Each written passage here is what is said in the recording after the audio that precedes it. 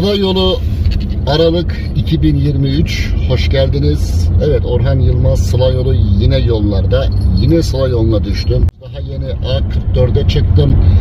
Velbert istikametine birazdan A3 Köln Frankfurt istikametine doğru sapacağım. Yaklaşık 5-6 kilometre sonra. Merak edilen konulardan bir tanesi Dirne'ye kadar kaç litre mazot yaktın? Eee Evet kaç e, euroluk mazot harcaman oldu gibi sorular geldi. Bu sorularınızı cevaplayabilmek için de birkaç gün önce arabamın mazotu bittiydi. Fullamıştım. Tabi kullandım şimdi birkaç gün biraz eksildi. Demin yine o eksiği tamamladım. Şimdi o birkaç gün önce çektiğim mazot alırken çektiğim videoyu ve bugünkünü izliyorsunuz. Orada bakalım kaç litre mazot almışım toplam. Kaç para vermişim. Evet yol boyunca bu ve buna benzer bilgiler gelecek. Hadi yolumuz açık olsun hep beraber.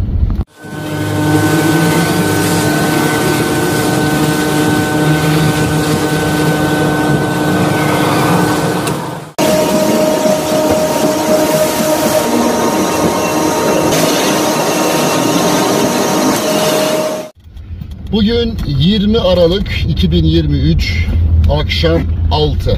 Tam akşam 6 yani 18 yola çıktım. Bunu da bilmek isteyenleriniz var. Kaç saatte gittin? Hani Kapıkule'ye kadar veya Türkiye'ye kadar kaç saatte gittin? Bunu sizlere aktarabilmek için Hatta şöyle saatle çekeyim. Gördünüz saat 6'yı bir geçiyor.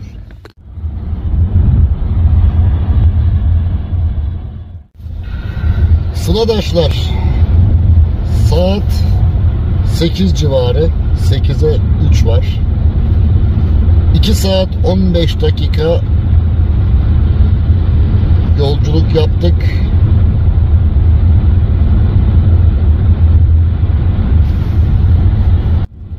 Biliyorsunuz saat 6'da çıkmıştım. Evet saat 8. 2 saatte Frankfurt Havalimanı'na geldim. Çok güzel bence. Yollar hafif yoğun. Bu Köln, Bonn tarafları, Limburg tarafları inşaatlardan dolayı biraz yoğundu ama sıkışıklık olmadı. Evet Sıla yolunun yüzde onu bitti. Kaldı yüzde doksan.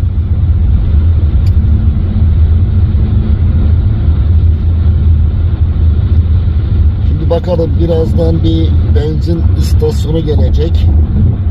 Orada bir kenara çekip bir bilmiyorum kısa bir süre mola ihtiyaç molası. Bu sefer hazırlıklıyız. Su kaynatma Hanım ismi ne onun? Kettle. Markasını Kettle. sormuyorum. Ne? Tamam kettle. Ha kettle. Ya. Kettle'miş. Arkadaşlar ben bilmiyordum. Öğrenmiş oldum. Su kaynatma kettle'i almış hanım. Biliyor benim sıla yolunda bol bol kahve içtiğimi, kahveci olduğumu. Sıla yolumun olmazsa olmazı kahve. Biliyorsunuz defalarca bu konuda şikayet ettim, şikayetçiydim. Eee Almanya ve Avusturya dışı ülkelerde genelinde ben damak tadıma uygun kahve bulamıyorum ve çok da pahalıya satıyorlar ama hiç hoşuma gitmiyor kahveler. Neyse kendi kahvemizi aldık. Şimdi ketlerimizle de suyumuzu kaynattık. Kaynar su hazır bekliyor. Evet arkadaşlar birazdan molamı vereceğim. Orada görüşürüz. Evet sıradaşlar dediğim gibi ilk gelen benzin istasyonundan çıkıyorum şu an. Neresiymiş? Weiskirchen.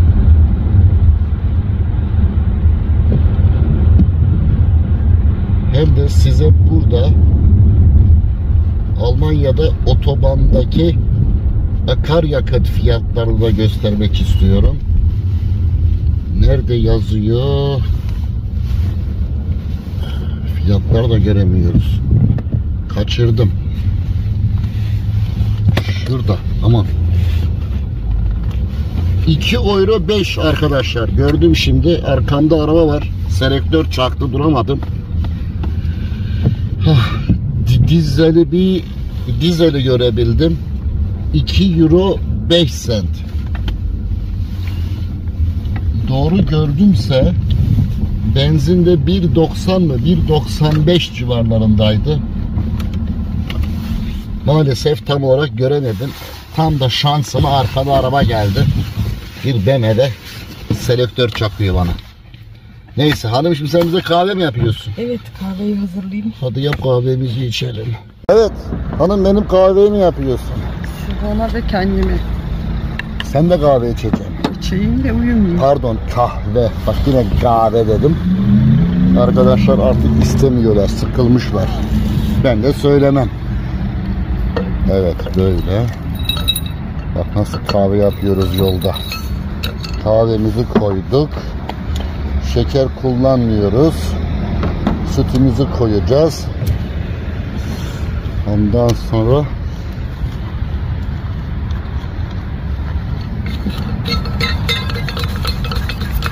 Oh, tamam. Suyumuz da bunun içinde kaynar.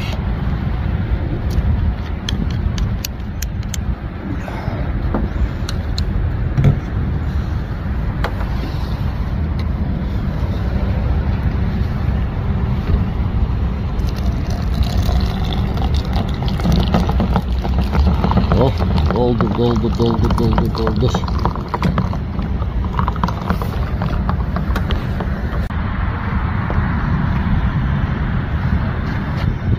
Evet arkadaşlar ben kahvemi içtim. Şimdi yola devam ediyoruz. Evet güzergah şimdilik Würzburg.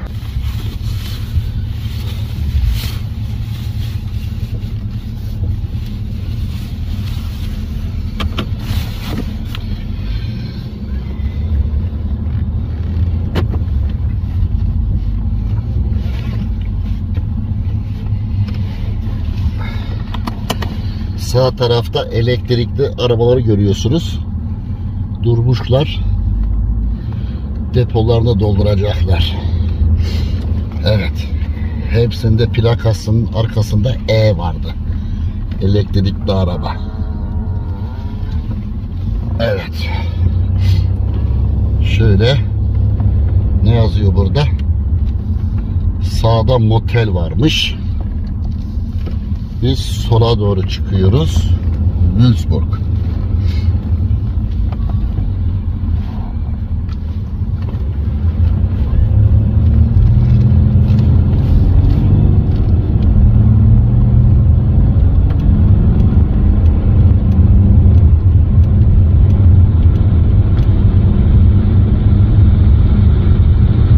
Würzburg ile Nürnberg arasındayız. Burası ne yazıyor? Höchstadt an der Aisch. Höch öyle mi okunuyor? Höch. Höchstadt an der Aisch. Burada inşaat var. Zaten inşaat da çok. Bundan evvel de birkaç inşaat vardı. Trafik aktı ama burada sanırım e, tam bilmiyorum emin değilim. Onu birazdan göreceğiz. Kaza oldu. Yaklaşık yarım saat oldu hemen hemen bekliyoruz. Sanırım ne bileyim bir 15-20 dakika daha bekleriz herhalde. Navigasyona göre e, evet trafik kuyruğunun sonlarına geldik. Yani burada aşağı yukarı bir 40-45 dakika zaman kaybedeceğim. Sorun değil. Evet biliyorsunuz inşaatlar ülkesi Almanya. Her zaman sıla yolunda bunu söylüyorum. Arkadaşlar Almanya'da olan inşaat sayısı ve uzunluğu kolay kolay başka hiçbir ülkede yok. Sıla yolu üzerinde bulunan ülkelerde yok. Bu bir gerçek. Bu arada akşam akşam zaten akşam görüyorsunuz. Ee, onu 10 geçiyor. Yani ben 4 saat 10 dakikadan beri yoldayım. 6'da çıkmıştık biliyorsunuz. Şimdiye kadar yaklaşık 410 kilometre yol yapmışım. Dediğim gibi yarım saattir de burada bekliyoruz. Yarım saatte yine nereden baksan bir 50-60 kilometre yol yapardık. Sağlık olsun.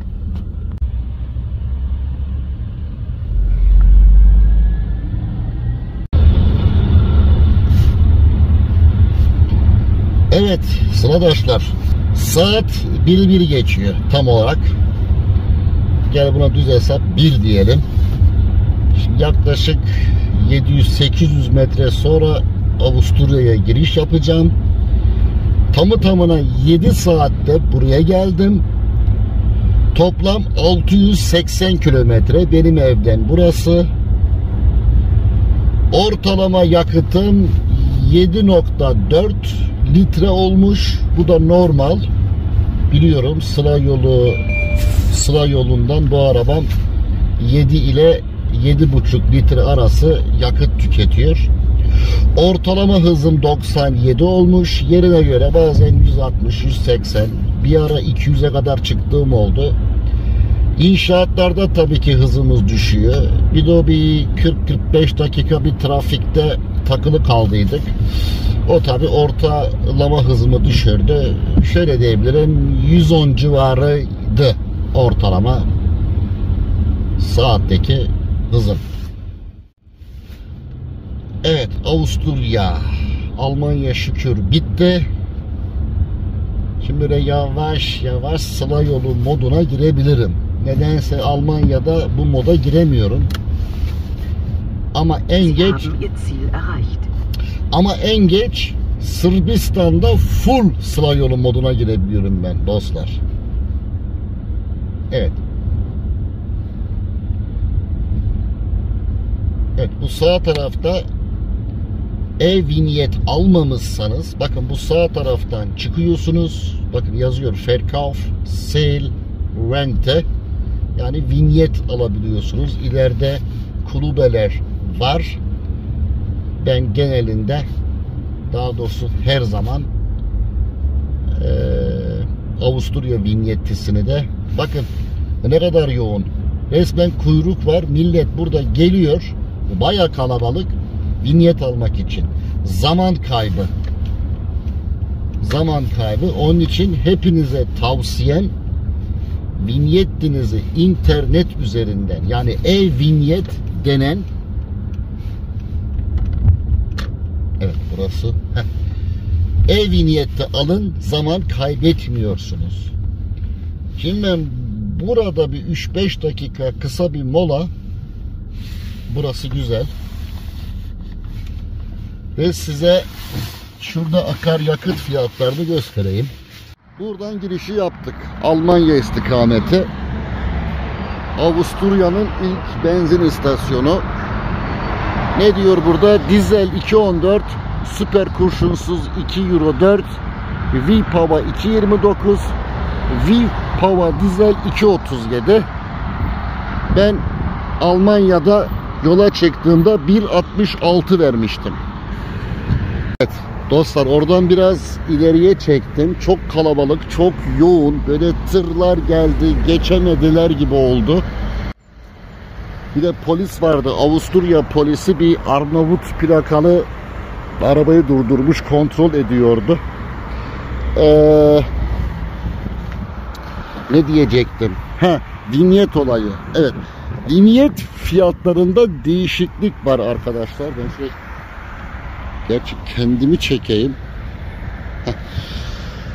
Şöyle güzel bak. Vinyet fiyatlarında Avusturya değişiklik yaptı. Önceleri hatırladığım 10 günlük vinyet 8 euro 80 veya 8 euro 90 civarındaydı. Şimdi yeni uygulama geldi 1-2 ay evvel.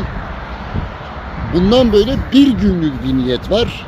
Fiyatı 8 euro 60 cent. Ve 10 günlük vinyetini de vinyettinin fiyatını yükseltmişler 11 euro 50 cent olmuş. İlginç. Herkes bu konuda yorumunu yapabilir. Evet şimdi burada biz bir 3-5 dakika mola vereceğiz. Ee, sonra yola devam edeceğiz. Hadi bu oğlum.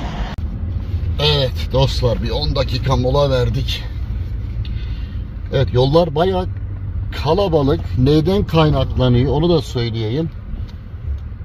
Abi hadi git artık ya. Abi şaka gibi insanlar ya. Yol hakkı bunun. Sağdan geliyor. Ben duruyorum, bekliyorum. O da durup bekliyor. Tuhaf abi. insanlar tuhaf araba kullanıyorlar ya. La görüyorsun ki duruyorum. Yol hakkı da senin. E git. Neyi bekliyorsun da? Otobüsü bekliyorsun. Evet, ne anlatıyordum? Noel bayramı var. Noel Noel tatili yaklaşık iki hafta. Bizim Türkler de tabii ki diğer yabancılar da eee, vatanlarına gidiyorlar. E, tabii ki Almanlar, işte Avusturyalılar vesaire. Bunlar da genelinde ya Avusturya'ya gider ya Hırvatistan'a giderler tatillerini yapmaya. Evet bu sebepten de gerçekten yoğun. Değil mi hanım? Yollar bayağı yoğun. Evet. Çok kalabalık. Yani bu kadar yoğun ola yoğun yoğun olacağını tahmin ettim. Bu kadar yoğun olacağını tahmin etmedim. Bütün benzin istasyonları full. Neyse, sorun yok. Vinyetimi de aldım. O konuda sıkıntım yok. Şimdi gidiyoruz. Ha arkadaşlar bu arada belirtmedim. Ben e, normalinde Macaristan güzergahını kullanıyorum. Bu sefer Slovenya, Hırvatistan güzergahı üzerinden gitmek istiyorum. Yani şimdi birazdan e, Viyana değil de Graz takip edeceğiz. Graz'dan sonra Maribor, Slovenya'da bir şehir. Sonra biliyorsunuz Zagreb üzerinden Belgrad, Sırbistan, işte Sofya, Bulgaristan ve güzel memleketimiz, güzel vatanımızda olan Edirne. Hadi bakalım. Evet, yaklaşık 2270 kilometre benim evden e, Kapıkule, doğru hatırlıyorsam. 700'ünü geldim. Ne kaldı? 1570 kilometre. Evet, onun da üstesinden geliriz evelallah. Evet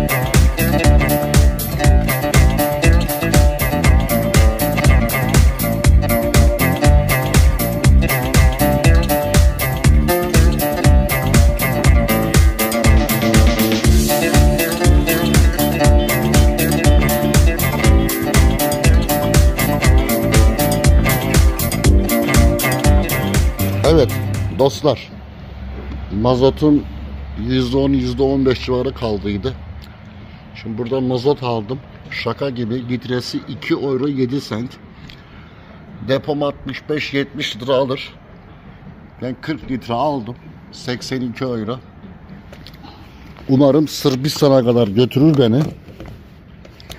Orada biraz daha ucuz olduğu için orada fullarım. Düşünün bir 25-30 litre daha alsa 65-70 euro. Şaka gibi. Neyse. Evet arkadaşlar ödemeyi de yaptım. 82 euro 2 sent. Şimdi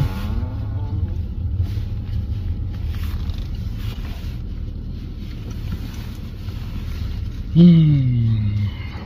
Bura biraz karışık. Çıkış nereden acaba? Şuradan. Anladım. Avusturya bu konuda biraz karışık arkadaşlar. Benzin istasyonları da bazen girdiğin gibi çıkılmıyor. Aynen korktum başıma geldi. Burası Einbahnstraße fahren. döneceğiz mecbur. Tuhaf ya. Aynen. Buradan çıkılmıyor. Anladım. auf die A9 Dedim ya, biraz-. Biraz karışık oluyor. Benim burada hep kafam karışıyor.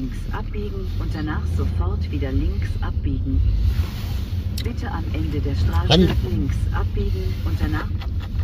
Bazen geldiğin yerden geri dönmen gerekiyor. Avusturya'da öyle maalesef.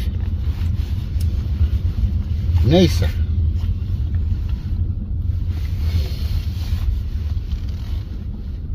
Yani Almanya gibi değil. Bakın Almanya'da hiç böyle bir Rasplas gördünüz mü? Nereden çıkacağım, nereden gideceğim belli değil. Yolda tır park etmiş. Çukur var, taş koymuşlar.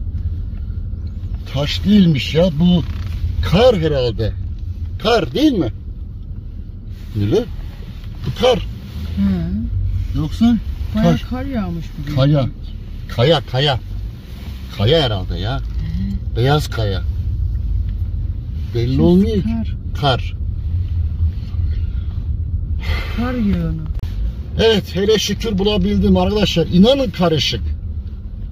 Yani böyle bir karışıklık olamaz ya. Tabela da yok doğru dürüst. Neyse. Neden depomu fullamadım onu da söyleyeyim. Ben normalinde her zaman söylüyorum Almanya'da ve Avusturya'da otoyollarda almayın pahalıdır.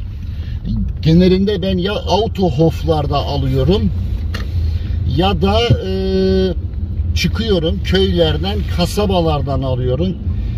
Yani 30, 40 bazen 50 sent litre başı fark ediyor. Şimdi burada Avusturya. Gecenin iki buçuk üçü. Dağın başındayım. Dedim Orhan riz, e, riske atma kendini. Açık benzin istasyonu falan bulamazsın. 20 euro tasarruf edeceğim diye rezil olursun. Yolda kalırsın. Evet bu sebepten burada aldım. Dediğim gibi fullamadım. Bu zannederim beni aşağı yukarı Sırbistan'a kadar götürür. Şimdi burada 2 euro 7 litresi Sırbistan'da tahminim bilmiyorum tahmin ediyorum 1.70 civarı olsun. Fazla değildir. E düşünün ne kadar tasarruf ediyor insan. En az 20-30 euro depo başı.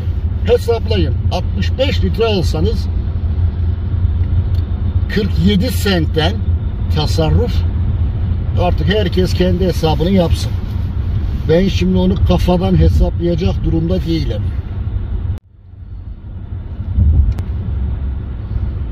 Evet bir tünelden çıkıp diğer tü- tünele giriyoruz. Avusturya'da her zaman söylüyorum tüneller ülkesi.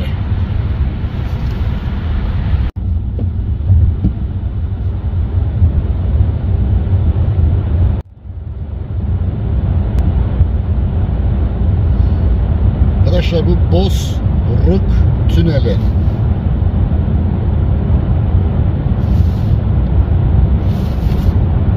Doğru hatırlıyorsam ki birazdan göreceğiz. Tünelin çıkışında maut ödeme gişeleri var. Yani tünel ücreti Avusturya'da sadece ya, bu güzergahtan gidenler için geçerli. Macaristan güzergahını kullananlar tünellerden geçmiyorlar. Tabii ki e, bu yüzden de herhangi bir ücret ödenmiyor. Ama bu güzergahtan gidenler yani Slovenya, Maribor üzerinden gidenler birçok tünelden geçiyoruz. En uzun iki tünelin e, ücreti var. Evet onları da birazdan gişede ödeyeceğiz.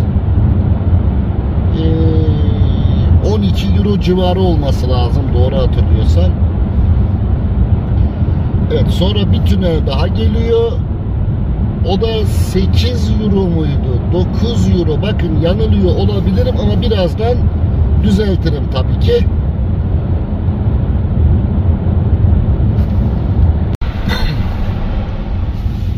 Evet bakın dediğim yere geldik.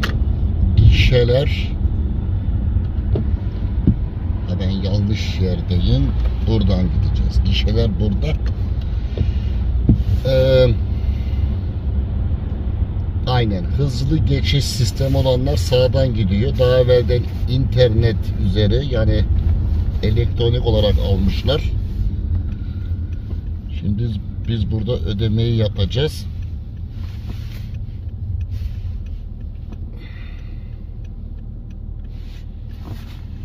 Evet arkadaşlar ben surf servise geldim. Bitte bezahlen Sie am Automat mit Münzen und Banknoten mit Kreditkarte oder Videomautkarte.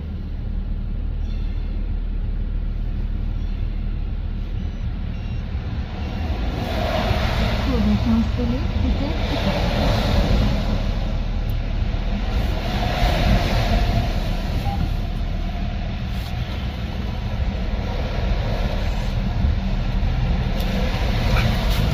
Evet arkadaşlar 10 euro 50 cent ödedim şimdi kartla. Evet.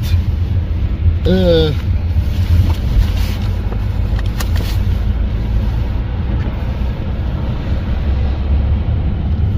evet. Dediğim gibi doğru hatırlıyorsam birazdan bir tünel daha gelecek. Onu da ödeyeceğiz. Bak burayı 12 euro hatırlıyordum 10.50'ymiş. Neyse böyle size güzel ve doğru bilgiler vermiş oluyorum. Hatırladığımla gerçeğin arasında fark olsa da düzeltme yapıyorum sonradan. Maksat yanlış bilgi vermemek. Evet. Ne diyor burada? Graz. Graz mı okunuyor? 107 kilometre. Bir şey kalmamış. Bir 40-45 dakika sonra Graz'dayız. Oradan da Slovenya sınırına fazla bir şey kalmıyor.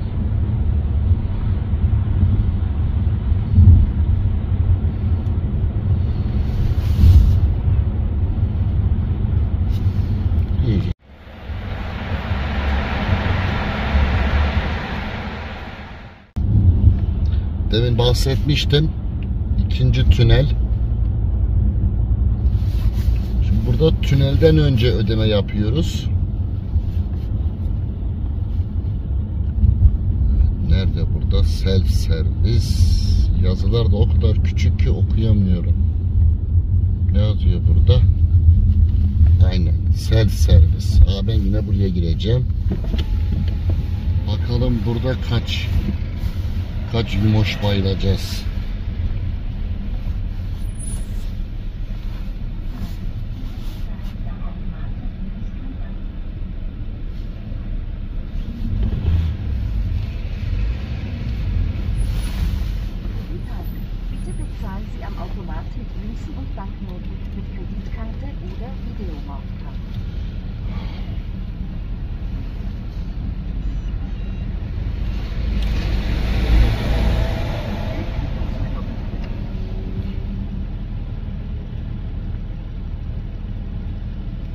Abi.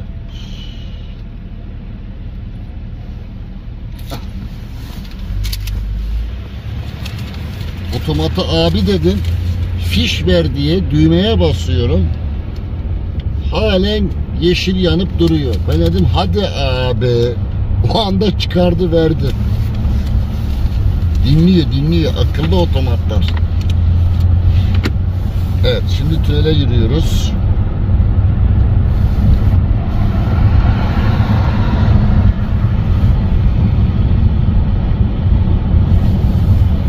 Şimdi mi?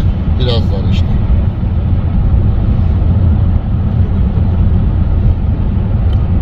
Ha, hakikaten söylemedim değil mi? Bu da 10 euro 50 cent. Evet. Tünel ücreti 10 euro 50 cent.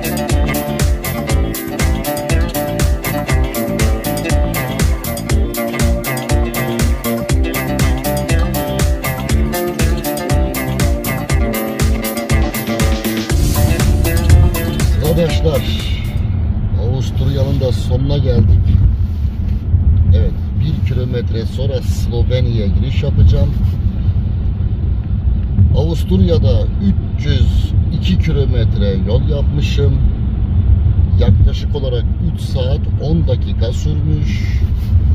Ortalama yakıtım Almanya'ya göre biraz daha düştü. Çünkü hız limitleri var. 120-130 gidebildik. Almanya'da biraz daha hızlı gittiydim. Evet burada ortalama yakıt 100 kilometrede 6,4 litre olmuş.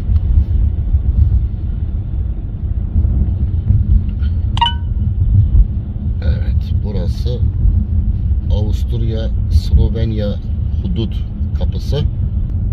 Evet.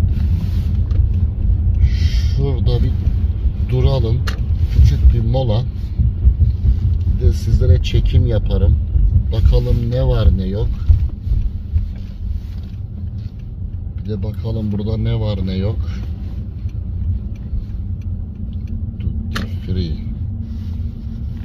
Ha, burada vinyet alınıyor. Size burayı göstermiş olurum. Ha, burada vinyet alınıyor. Güzel. Vinyet de. Direkt kulübe var. Kulübeden mi alınıyor? Ben hiç almadım Slovenya'da e, vinyet. Çünkü ben genelinde hep e-vinyet aldığım için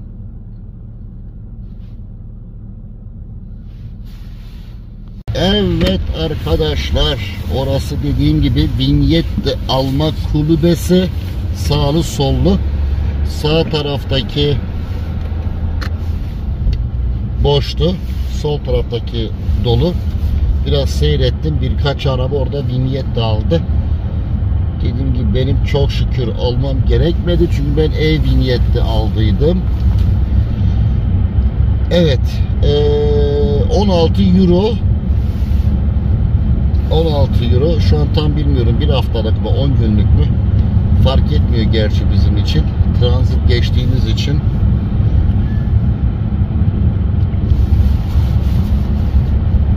Burası da Slovenya 70 mi 80 kilometre civarları toplam. Küçük bir ülke. Sonra buradan çıkıp yarım saat 40 dakika sürmez yani. Hırvatistan'a gireceğiz. Evet, welcome to Slovenya.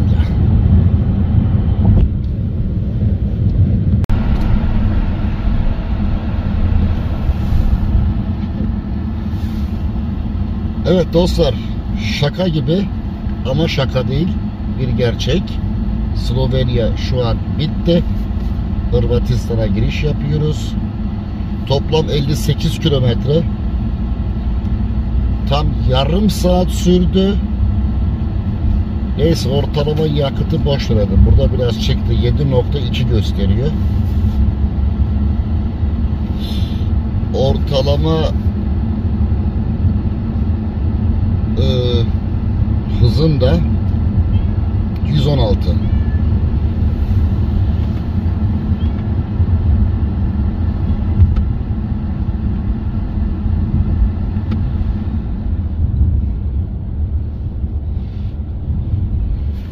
Evet, şimdi burada Hırvatistan'a giriyoruz.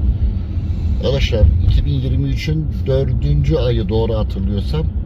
Evet, dördüncü ayı itibariyle Hırvatistan'ı Schengen üyesi yaptılar. Böylece de e, gümrük kontrolleri kalkmış oldu. Evet, welcome to Croatia diyoruz. Burası Hırvatistan. Evet başkenti Zagreb. Şimdi burada tabelada verdi. Zagreb. Zagreb değil Zagreb normalde. Ha Türkçesi Zagreb. Evet Zagreb. Şimdi Zagreb'e doğru yol alıyoruz. Hemen yine arabanın bilgisayarını sıfırlıyorum. Bakalım Hırvatistan'da ne yapacağız? Ve ilk e, otoyol ücreti ödeme gişesine de geldik. Bakalım burada ne ödeyeceğiz? Unutmuşum ben 2 sene oldu aşağı yukarı Hırvatistan gitmeye. Bilet mi çekiliyordu önce aynı Sırbistan'da olduğu gibi yoksa direkt ödeme mi yapıyorduk? Yazıyor? Dobra došli. Dobra došli. welcome yani hoş geldiniz demekmiş. Bunu da öğrenmiş olduk. Sağ tarafta yazıyordu çünkü. Evet, bakalım buradan ne yapacağız? Ödeniyor mu? Bilet mi çekiliyor? Zannederim bilet çekiliyor. Evet. Doğru tahmin etmişim. Aynı Sırbistan'da olduğu gibi. Tiki tiket. Uzmite kartiçu. Hırvatçası.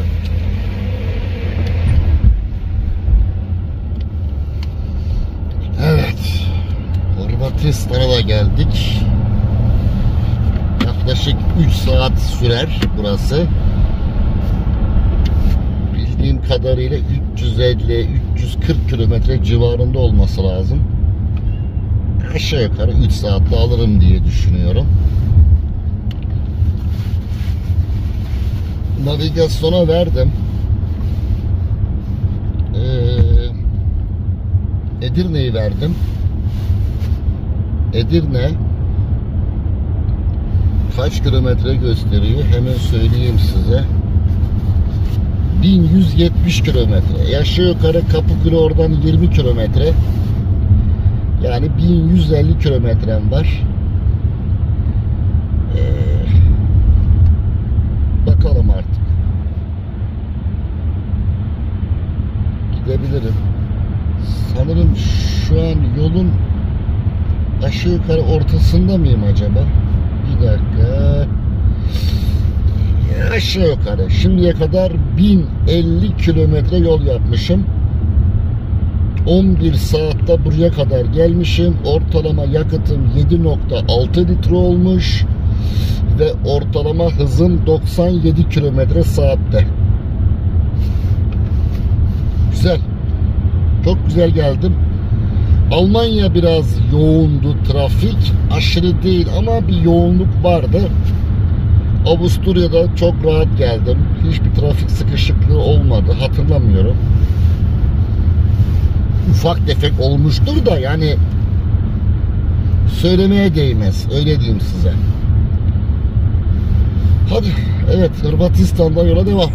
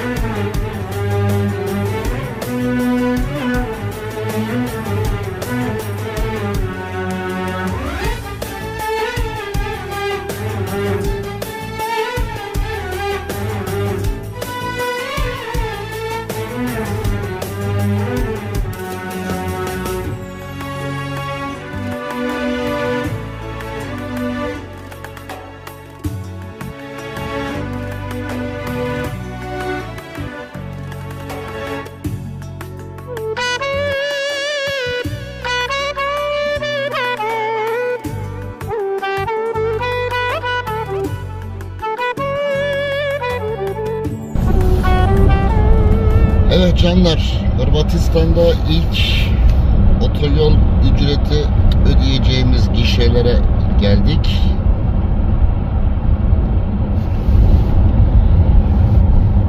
Ben de en az sizin kadar merak ediyorum.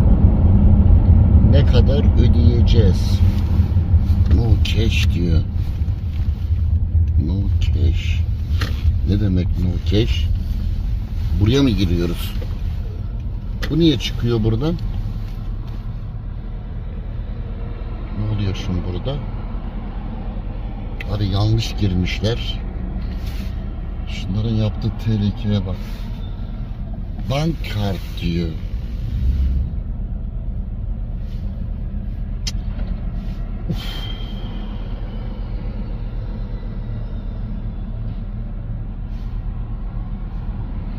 Ama bank kart.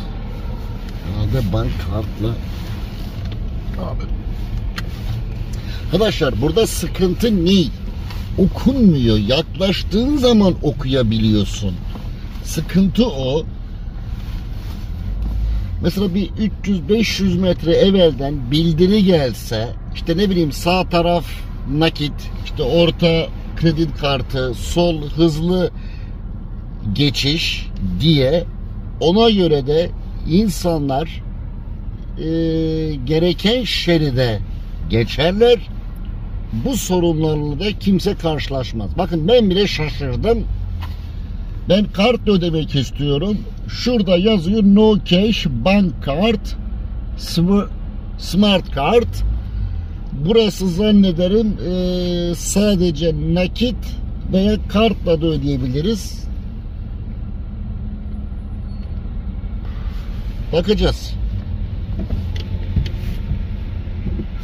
Neyse dönüşte artık biliyorum direkt no cash olan yere gireceğim. Banka kartıyla ödeyeceğim. Ama sanırım orada e, çalışan eleman yok. Otomatta ödeme oluyor. Aynen dediğim doğru tahminim. E, çünkü burada kredi kartı e, kabul ediyorlar. Görüyorum şu an. Hepsini sıralamışlar. Şimdi siz de göreceksiniz. Ne kadar ödeyecekmişiz? 1.70 Var mı 2 euro? 2 eurocuksa hiç kartla uğraşmaya gerek yok. Ben öyle görüyorum. 1.70 yazıyor.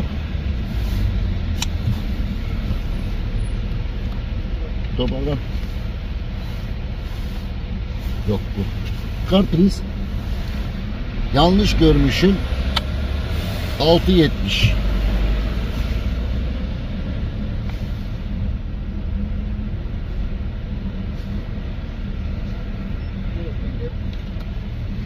Pin, Pin. pin, ja. Ne Pin diyor? in die Hand, Ya pin, pin, pin, ja. Yes. Okay. Thank you. Evet arkadaşlar ben bir şekilde yanlış görmüşüm. 1.70 okudum. Motosiklet için miydi o? 6.70. 6 euro 70 cent ödedim burada.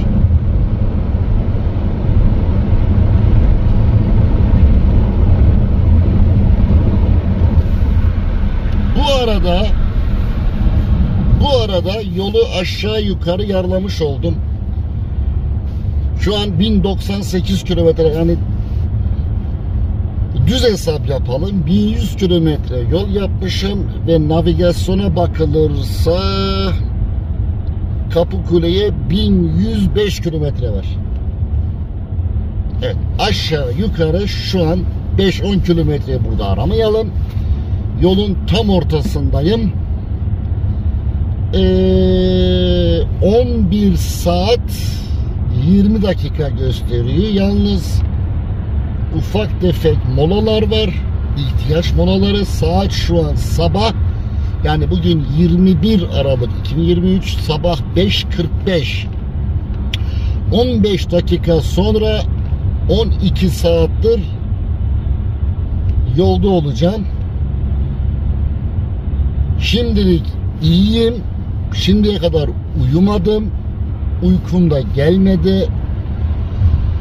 Ee, evet bu konuyla ilgili her zaman söyledim. Ben uzun yol uzun yola alışkınım.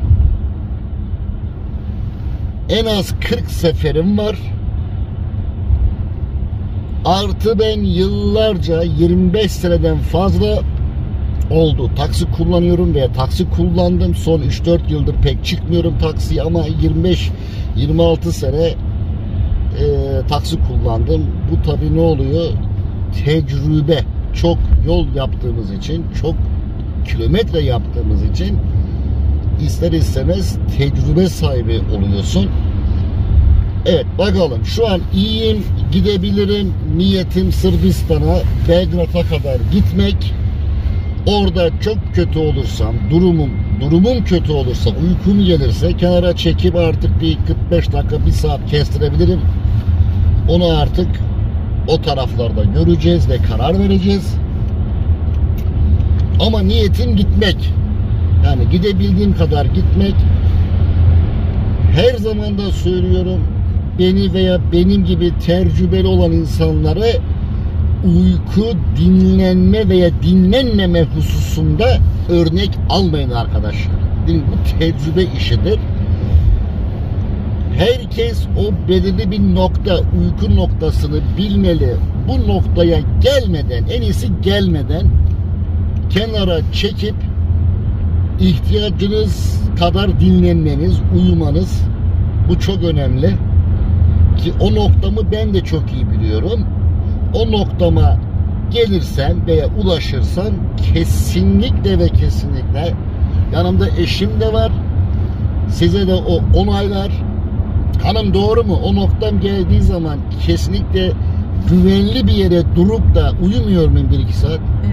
Evet. Evet. Ha, bunu yapman yani. Bu, bu, bu çok tehlikeli.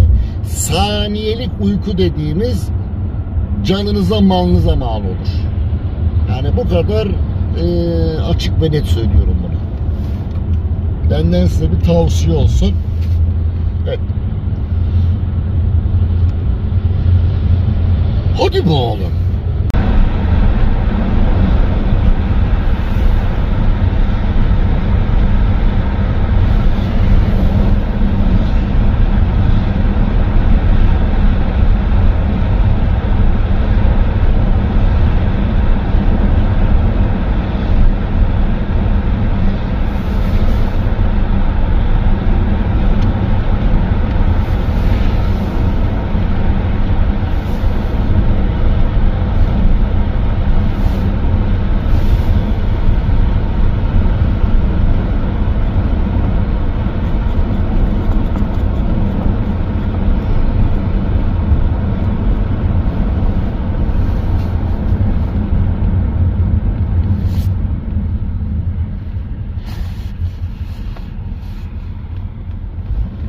Yanlış mı girdik? Yok, bile çekiliyor.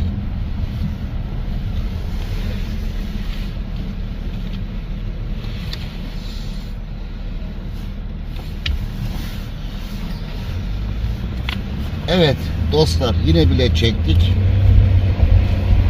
Bu ikinci ve son diye hatırlıyorum. Sırbistan'a yaklaştığımızda yani Hırvatistan'ın sonunda bir ödeme daha yapılacak.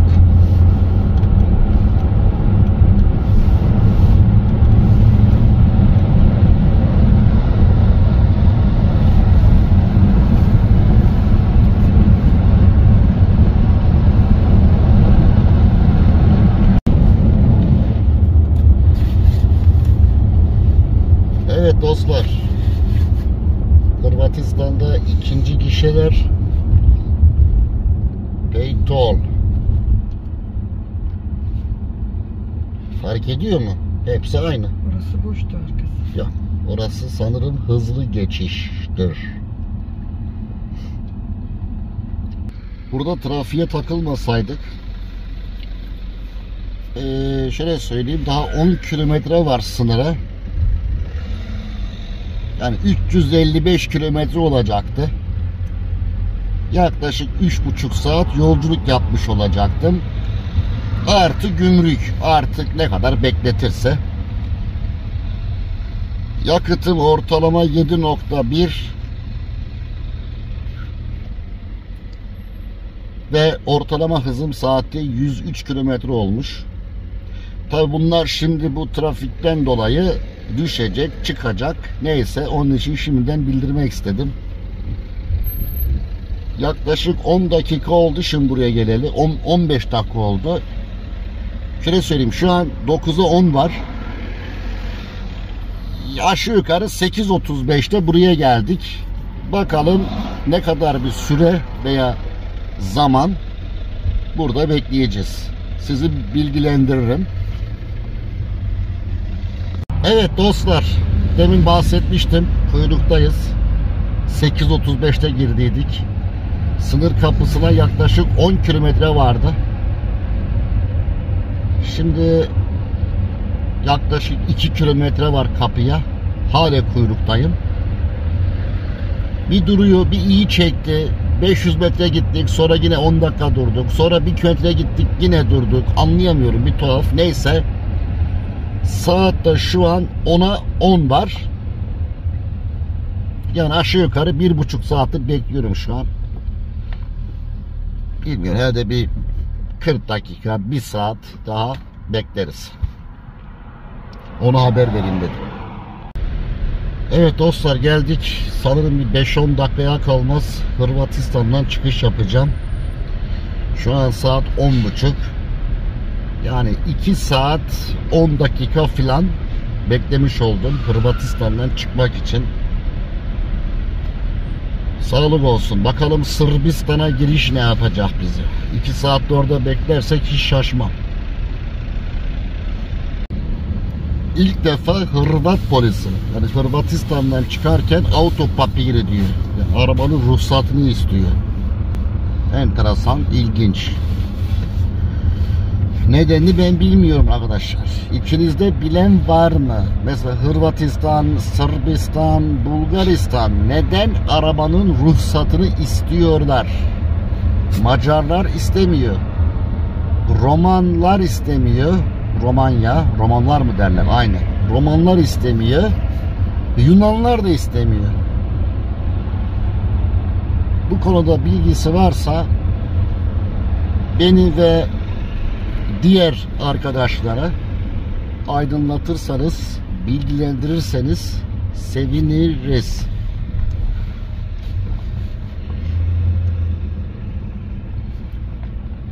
Evet, burası güzel, boş görünüyor. Bir şuraya mı dalalım? Nereye dalayım? En sağa mı? Buraya mı? Orası otobüsler için ama. Orası da mı araba? Ha, hanım sağda ya daha iyi görüyor. Evet. Burası da Sırbistan'a giriş. Güzel. Hanım uyanıklık etti. Beni en sağa aldı. En az araba da burada var. O değil mi oğlum? Evet arkadaşlar bakın bu öndeki araba uzun zamandan beri burada bekliyordu. Arabası ufak bir arıza vermiş. Şurada bir genç dikiliyor. Yanıma geldi. Almanca çok efendi bir şekilde diyor ki ya bizim arabamız bozuldu diyor. Şu an çalışıyor zar zor da olsa. Şanzımanda bir arıza olmuş. Bizi öne bırakır mısın? Dedim tabii ki bırakırım. Niye bırakmayayım? Bak e, sordum. Nereye gidiyorsun? Kozovalıyım diyor. Kosova'ya gidiyoruz diyor. Dedim güzel. Toplam 7 arabayız diyor.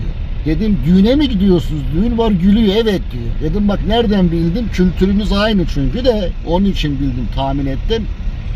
Demin de hanıma söyledim. Yollar çok kalabalık, çok yoğun. Ama hepsi Türk de değil. Yani tiplerine bakıyorum. Nadir böyle Türk diyebileceğimiz tipler görüyorum. Yani inanın çoğu Kosova, Makedonya, belki Bosnak. Gerçi Yunan. arkada kaldı ama Yunanlar var. Tek tük Bulgar olabilir. Bu da beni sevindiriyor açıkçası. Çünkü neden? Ee, Kapıkule çok yoğun olmaz. Evet şimdi arkadaşlar görüyorsunuz birazdan Sırbistan'a giriş yapacağız. Burası çabuk oldu. Kaçtı? 10.30 civarı mı geldik? Bir 10, 15 dakika oldu aşağı yukarı.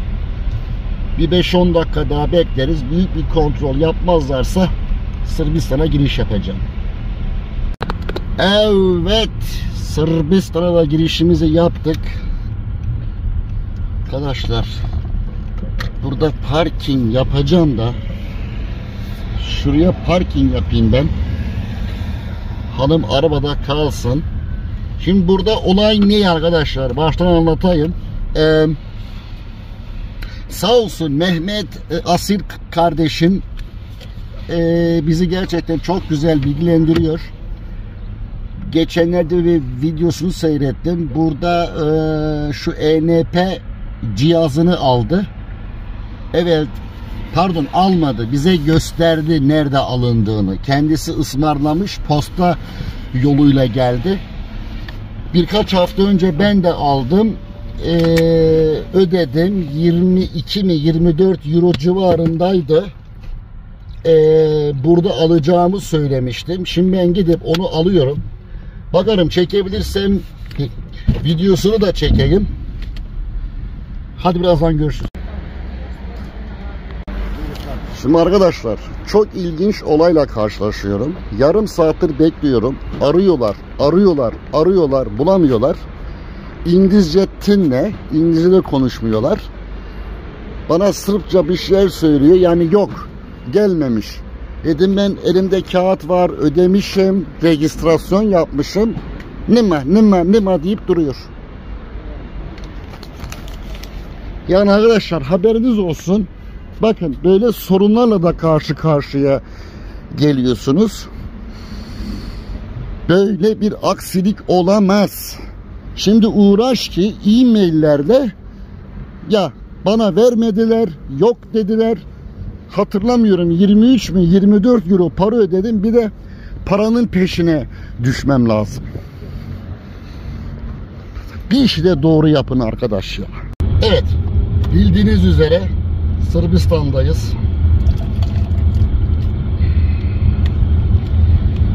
Ee,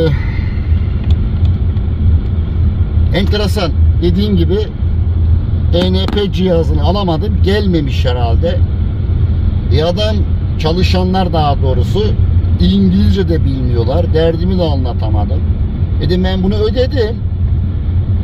İki hafta oldu sipariş vereli dedim internet sitenizde yazıyor en geç 4 gün evvelinden sipariş verin.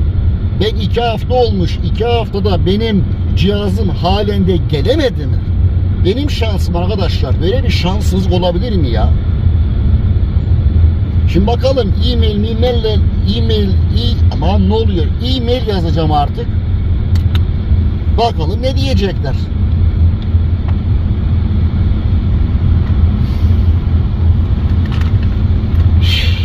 Sağlık olsun. Ne yapayım?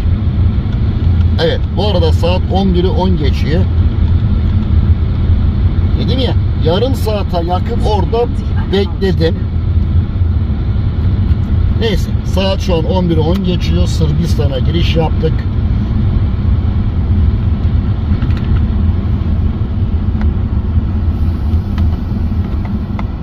Bakın ENP cihazımı alabilseydim Şimdi buradan transit geçecektim. Şansa bak.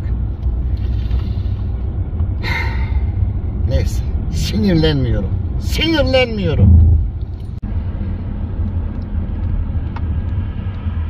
Evet. Sit. Bakın ENP cihazımı alabilseydim şimdi şu sağdan transit geçecektim. Şansa bak. Yani arkadaşlar sinirlenmemek, üzülmemek elde mi? Arkadaş ya bir türlü bana şu ENP cihazı nasip olmadı. Kaç sefer bir ara benzin istasyonlarında alınıyordu. Bilette çektik. Kaç sefer sordum no no no kalmamış. No no no kalmamış. Bu sene dedim Mehmet Asir kardeşimin yaptığı gibi yapayım. Ismarladım internetten. Ücretini de ödedim. Dedim ya 23 euro mu 24 euro mu hatırlamıyorum bile. Ya parası da önemli değil. 24 euro beni batırmaz. Ama insanın zoruna gidiyor ya.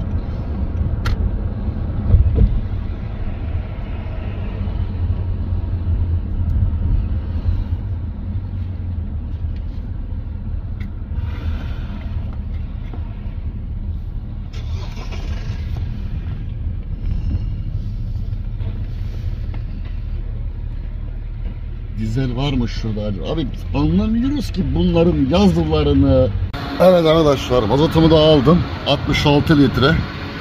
195 dinar. Yaklaşık 1 euro 66 sent yapıyor. Fulladık. Hadi bakalım. Burası mol. Mola durdum. Akaryakıt yakıtımızı da aldık. Şimdi yola devam. Bitte 76 Kilometer der Straße folgen. Zerbiya.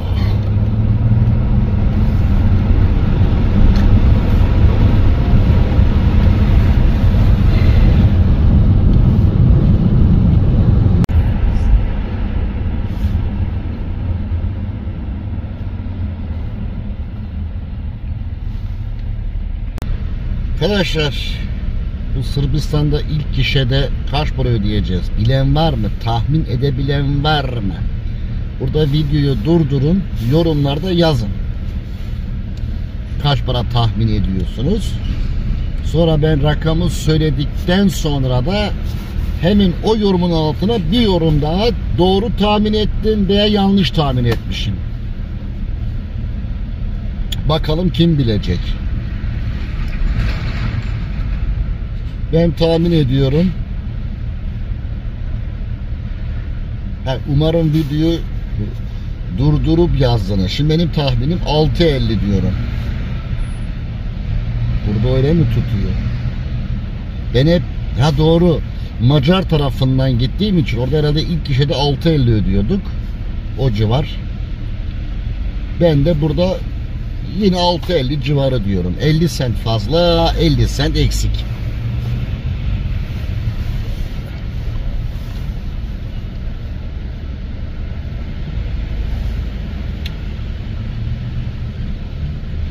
Kabul etmiyor bu bazen karta. Kabul etmiyor. Niye bazen kabul etmiyor? Belki eskimiştir cips.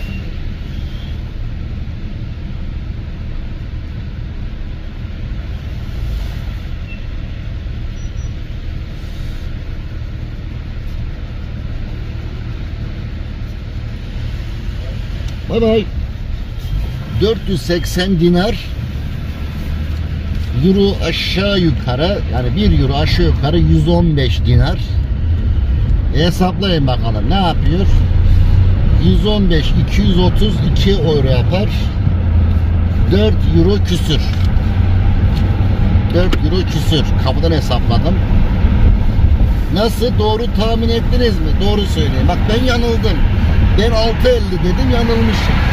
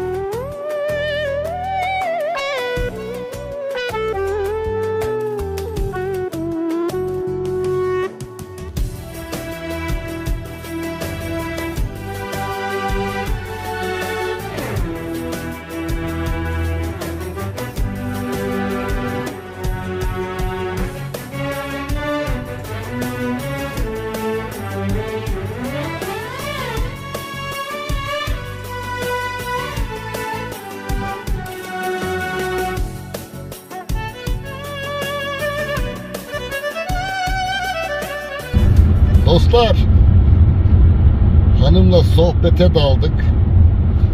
Niş kavşağını çekemedim. Niş kavşağı derken sağdan gidince Bulgaristan üzeri Sofya veriyor. Düz gidince eee Üsküp yani Makedonya daha sonrasında Yunanistan güzergahı olan o kavşaktan bahsediyorum. Neyse önemli değil.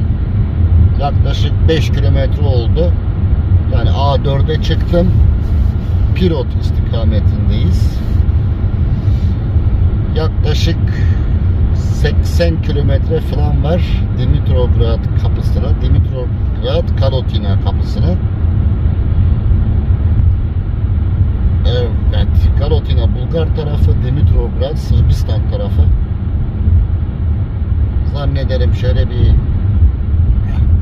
40-45 dakika sürer aşağı yukarı. Sonra bakacağım. Yani umarım umarım çok beklemeyiz. Sırp çıkış Bulgar giriş ki Bulgarlar bizi biliyorsunuz bekletmeden zevk alıyorlar diyebiliriz. Hoşlanıyorlar diyebiliriz. Fazla yoğunluk yok.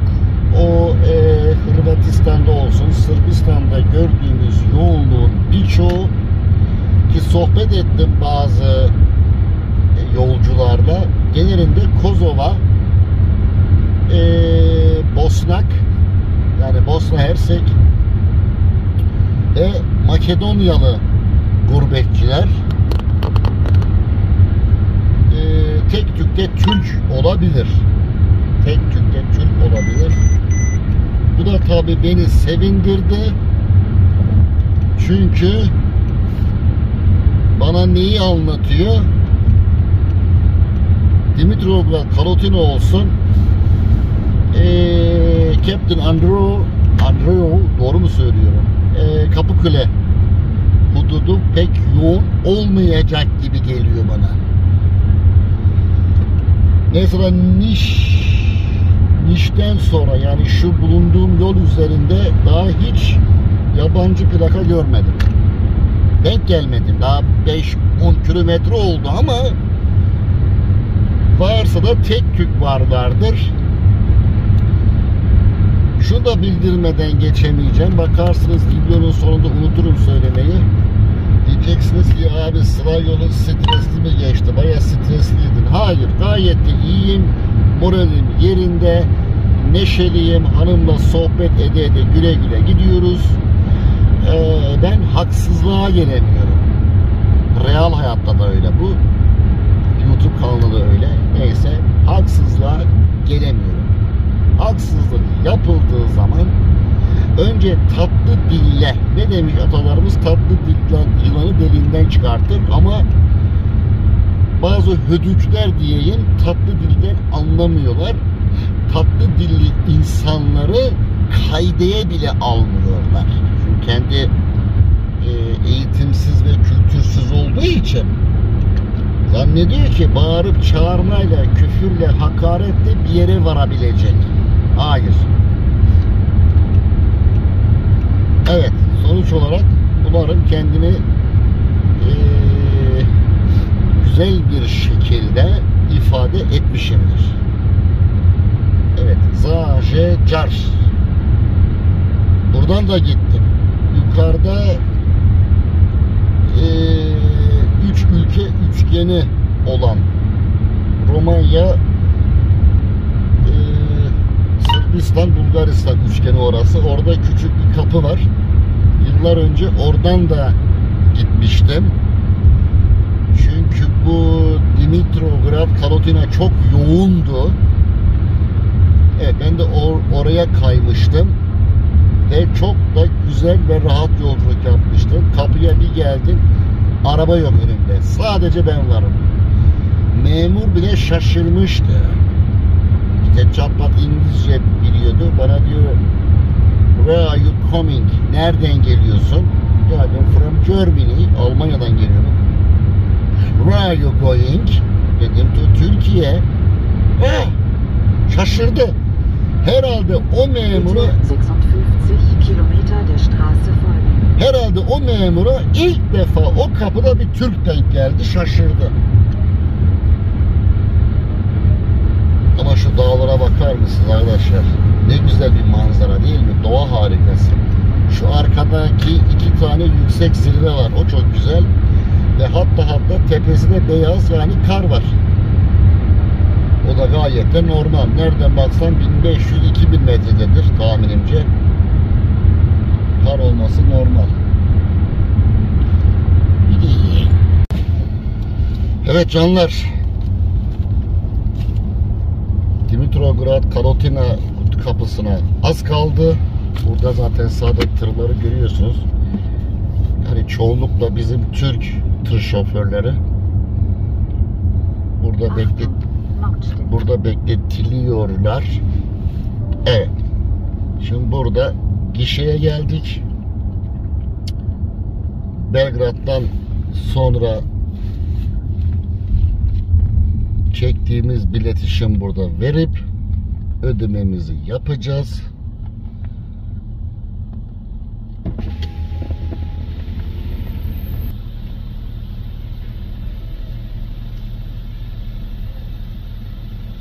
Ya hadi be ya. Hadi Bulgar be. Evet hadi. Hello.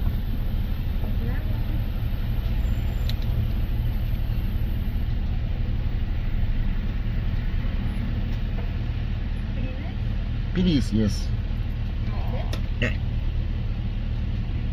It's not working, I think. Can you uh, in? Bitte, please.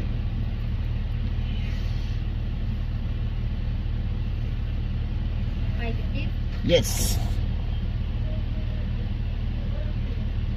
The-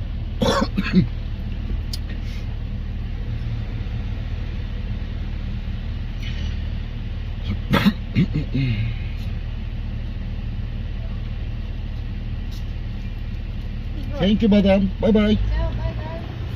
1490 dinar.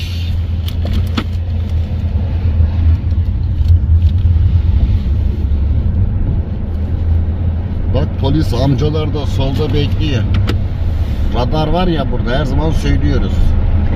Radarska, kontrolska. Her zaman değil tabi. Canları isteyince buraya radar koyabiliyorlar. Neyse. Şimdi Dimitrovgrad sağ tarafta güzel.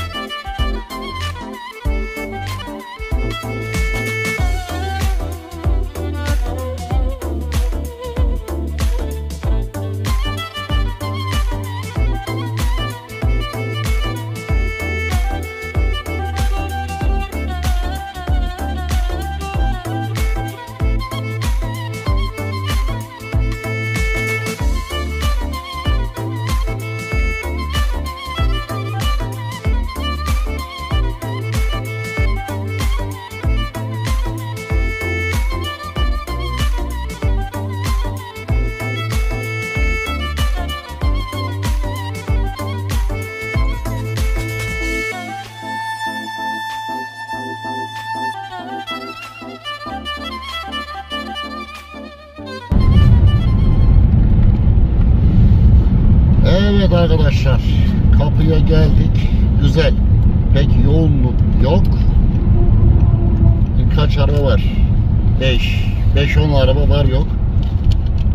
Nereye durayım ben? Buraya durayım. Umarım iyi bir memura, sempatik bir memura denk geliriz.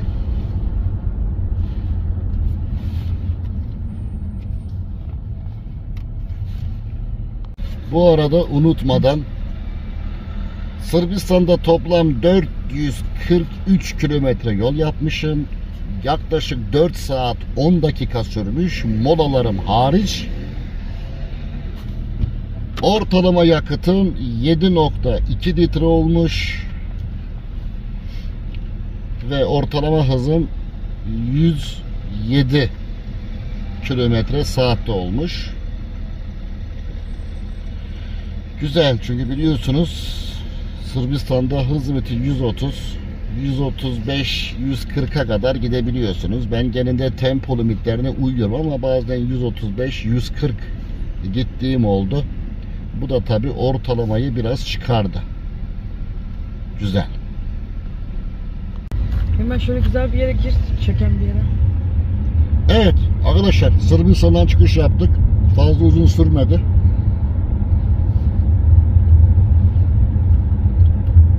Şimdi sıra Bulgarya'da.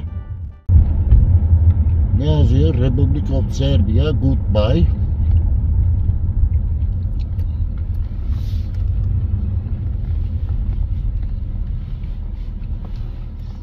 Oraya gir. Oradan arkaya geçiliyor. Sağdan mı? Ya. Emin misin bak? e, Şurası da güzel çekiyor ama. Buradan buradan. Bunlar böyle bak iki tane şey daha var orada. Ha. Ha böyle. Hı. Ha ben sandım oraya gir diyorsun. Hı hı. Ha anladım. Sağda 2-3 tane gişe daha var. Ya. Evet. Arkadaşlar hanımın gördüğü valla Şahin gibi. Nasıl görüyorsa. evet dostlar 10 dakikada 10 dak 15 en fazla 15 dakika değil mi hanım? Evet. Yani 10-15 dakika sürdü. Genç bir memur. Biraz da Türkçe biliyor çatlat. Kaç kişi? 2 kişi. Tamam. Ruhsat ehliyet de sordu. Bunu Bulgarlardan biliyoruz. Evet şimdi şurada size biraz bilgi vereyim. Bilmeyenler için dostlar Bulgar'a giriş yapar yapmaz. Bakın sol tarafta bir büfe var.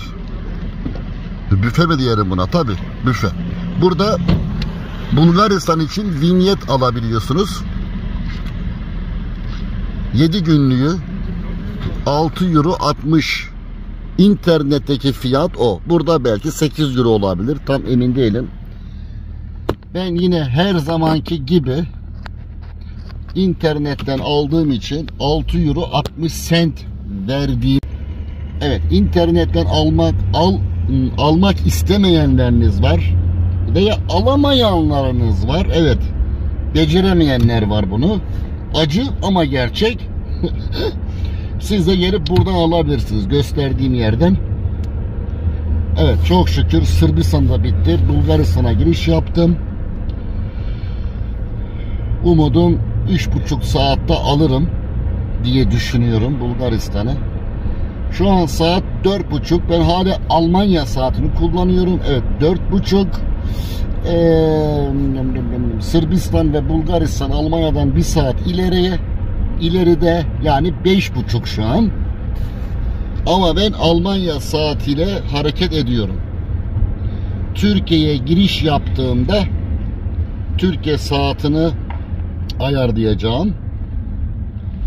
Türkiye'de bildiğiniz üzere kış aylarında Avrupa saatine göre 2 saat ileride. Bu arada bu sağ tarafta da vinyet kulüpleri var ama bunları bakın açık ve net önermiyorum. Tavsiye etmiyorum. Geçmiş zamanda defalarca duyduk. Ee, kazıklıyorlar. Umarım bu kelimeyle her şeyi ifade etmiş oluyorum. En doğrusu yol sol tarafta alacaksınız. Girer girmez sol tarafta olan ilk büfede. Ama en güzeli, en temizi, en güveniliri de e-vinyet almak.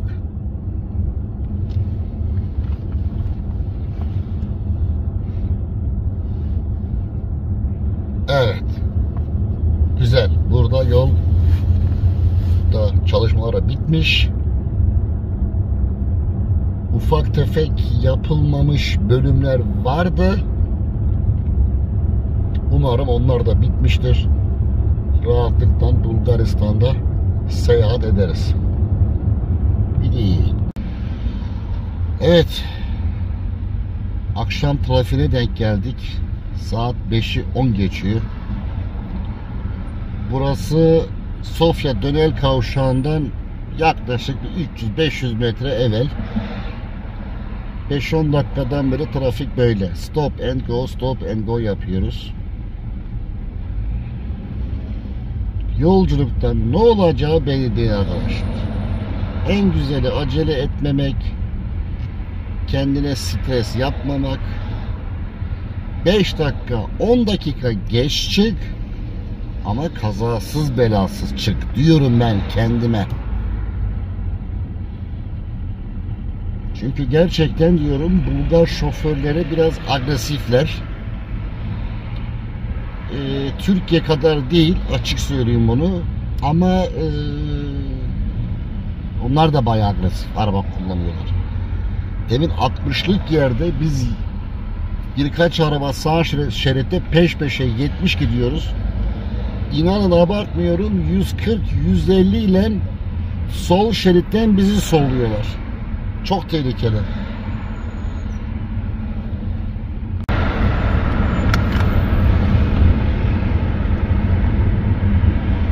Evet canlar, dönel kavşağa geldik ama gerçekten eee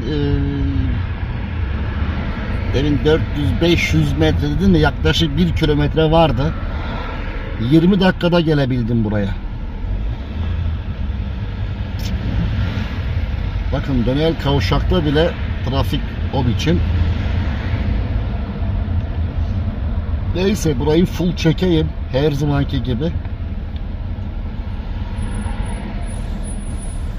Biraz uzun sürüyor normaline göre ama olsun. Bu da güzel.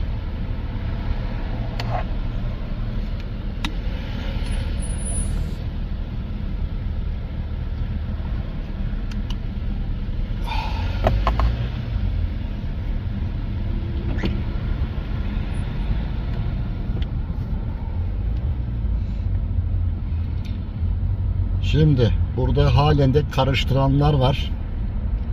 Navigasyona baksanız bile karıştırabiliyor insan. Benim de başıma geliyor. Burada değil de başka yerlerde.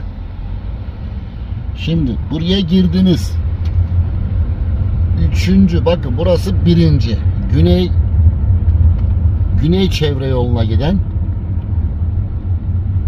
Burası ikinci. Tekrar Sofya merkeze gidiyor köprü üzerinde olduğu gibi ve buradan çıkıyoruz. Üçüncü çıkış. Gördünüz. Çok basit. Çok kolay. Üçüncü çıkıştan çıkıyorsunuz. Şimdi buradan hafif sol yapacağız. Yani bölünmüş yola çıkmak için şuradan Ondan sonra bu bir nevi Sofya'nın çevre yolu. Otobana bağlayacak bizi. Şöyle Sofya'nın etrafından bir kere dönüyor. Burada Svilingrad takip edeceksiniz. Sürekli Svilingrad takip ederseniz ee, Svilingrad'dan sonra ne kadardı ya? 40 kilometre mi? 50 kilometre sonra Kapıkule geliyor. Çok basit.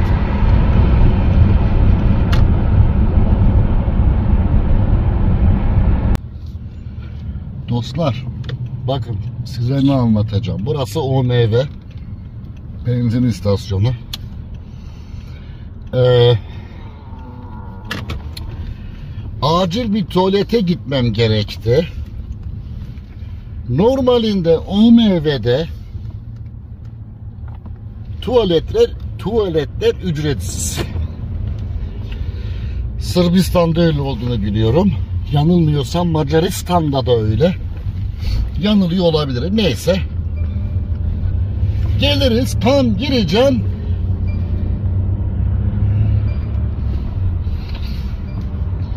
Abi şunların ağız farklarına bak. Şaka gibi ya. Abi şaka gibi ya. Tankstere'den çıkıyorsun 50 metre eee, şerit var ve aynı anda da bir çıkış var. Tırda kaptırmış maşallah geliyor. Dikkat etmesen burada büyük kaza olur. Onu da geçtik. Konumuz neydi? Tuvalet. Düşün tuvalete sıkışmışsın ya. Acil bir durum. Gidiyorsun. Kapı koymuş. Ne o? Çevirme kapı mı diyorlar? Çevirme şıran şey. E neyse. 2 Kilometern Bariyer diyelim buna. Ee, e, Bulgarca, İngilizce bir dil daha vardı çözemedim yazmış. Tuvalet sadece müşterilerimize mahsustur ve yani alışveriş yaparsan o e, e, kasadan çıkan fiş ile tuvalete giriş yapabiliyorsun. Çok enteresan. Daha evvelden hangi ülkede olduğunu bilmiyorum. OMV de değil başka bir benzin istasyonuydu. Orada mesela kredi kartıyla ödeme yapılıyordu tuvalete girmeyi. Buna eyvallah. Bozuk para zaten eyvallah da kredi kartına da razıyım. Burada böyle bir sistem yok. Seni alışveriş yapmaya mecbur kılıyorlar. Şimdi arkadaşlar benim gözümde bu büyük bir terbiyesizliktir. Kapitalizmin önü, önünde gitmektir. Bu konuda siz ne düşünüyorsunuz? Bu arada kaçırıyordum yol ayrımı. Ee, İstanbul. Evet burada verdi. A4 İstanbul. Sohbete daldım sizinle. Bak az kalsın çıkışı kaçırıyordum. Arkadaşlar bu tuvalet konusunda şimdi anlattığım mevzuda veya pardon bu hususta siz ne düşünüyorsunuz? Yorumlarda yazar mısınız? Haklı mıyım, haksız mıyım? Bakın tuvalet bedava olsun demiyorum. İlla ki inanın tertemizdi. Mis gibi de kokuyordu. Temiz olsun canımı yesinler. Para vereyim. Sorun bu değil. Bak burada yanlış anlaşılmak istemiyorum. Neymiş abi? Sadece alışveriş yapan müşterilerimize. Ben de orada böyle bir kek miydi neydi bir, bir keke benzer bir şey. Ee, 3.50 leva. Yaklaşık 1.75 1.80 euro yapıyor. Onu aldım öyle tuvalete girebildim fiş ile. Enteresan. Welcome to Bulgaria diyorum artık. Başka bir şey demiyorum. Evet arkadaşlar. Kapıkule'ye 100 aşağı yukarı 125 kilometrem var. Ee, 1 saat 15 dakika falan gösteriyor. Az kaldı. Az, az, az, az, az, az, az.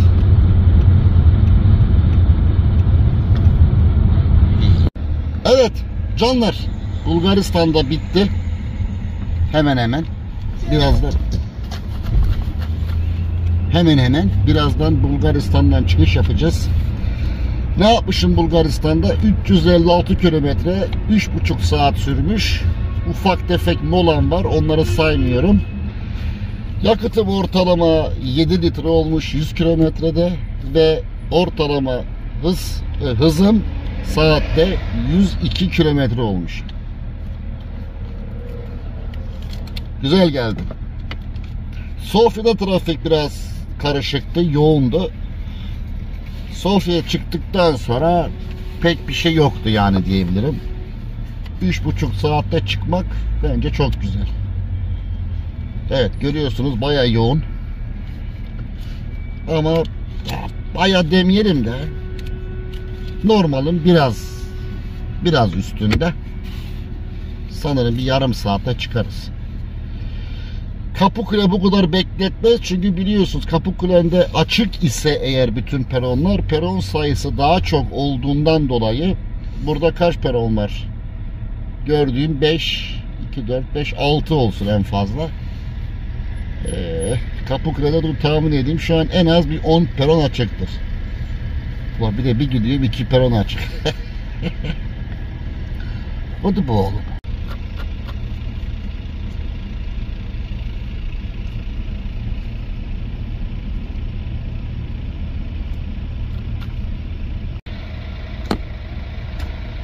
Arkadaşlar 15 dakika oldu aşağı yukarı. Şu an 3. arabayız. Bizim sıramız yine çok ağır çekiyor. Gerçekten öyle. Yani bize öyle gelmiyor. Sağa sola bakıyoruz. Daha çabuk çekiyor. Ben sanırım hep e, acemi memurlara denk geliyorum. Evet. Dostlar. Şimdi Bulgar'dan çıkışımızı yaptık. Sadece kimlik kontrol veya pasaport ve yine arabanın ruhsatını istedi. Evet, Türkiye.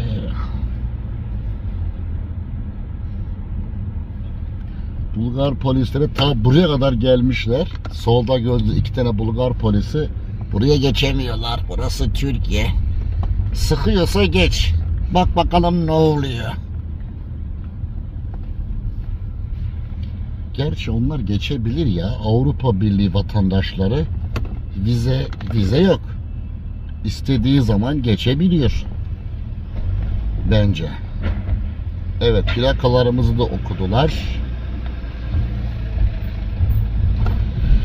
Burada biliyorsunuz şey alınıyordu pandemi döneminde desinfeks desen desenfekse desenfekte şimdi oldu. Almanca ile karıştırdım.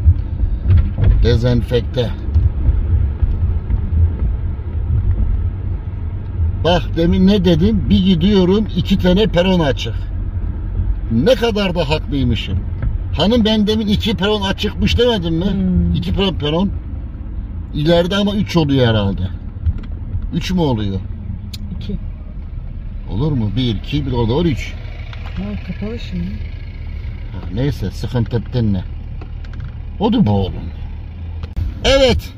Bu kadar. Türkiye girişimizi yaptık. 20 saniyelik bir bagaj kontrol bagajı açtı. Baktı kapattı. Sorun ne dedi. Enteresan olan pasaport kontrolü yapan memur benden genç 35 yaşlarında aşağı yukarı hanımın eee, oturum kartında Düzce yazıyor. Herhalde onu gördü. Soruyor yolculuk nereye? Dedim Düzce'ye. Düzce'nin neresinden? Dedim merkez. E, mahallesi yok mu? Dedim var. Aydınpınar Caddesi üzerinde. Aydınpınar gülümsedi ben anladım. Dedim memur bey sen de mi Düzcelisin? Evet abi diyor. Hemşerimiz çıktı. Enteresan. Hamit Orhan Yılmaz. Eyvallah. Evet. Bunda da sıkıntı çıkmadı. Arabayı da onayladılar. Türkiye hoş geldiniz. Arkadaşlar ben bu sene 2023 üçüncü gelişim. Maşallahım var. Üçüncü ayın sonlarında gelip aşağı yukarı dördüncü ayın sonlarına kadar kalmıştım. 3-4 hafta. Evet sonra ailece Temmuz'un ortalarında gelip Ağustos'un ortalarında döndük. 4 hafta mı 5 hafta kalmıştım. Şimdi 12. ayda gelmek nasip oldu.